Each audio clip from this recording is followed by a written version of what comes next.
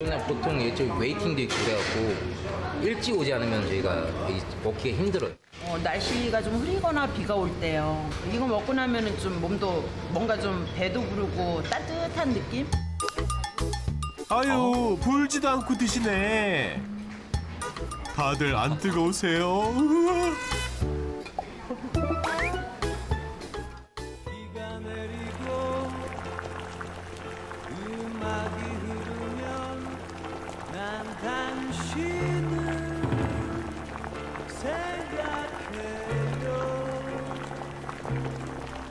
촉촉해진 감성만큼이나 촉촉한 육즙 넘치는 만두에 마지막 칼국수면까지 완벽한 마무리. 먹을수록 행복이 스며든다는 그 조합 맛이 어떠신가요?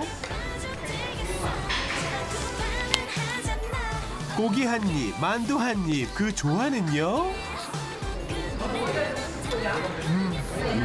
다른 만두 전골 만두랑 맛이 달라요. 보통 다른 데 만두는 밀가루 맛이 좀 나는데 여기는 밀가루 맛이 하나도 안 나고 만두소가 엄청 많아서 맛있어요. 고기도 되게 많이 드신 것 같아요.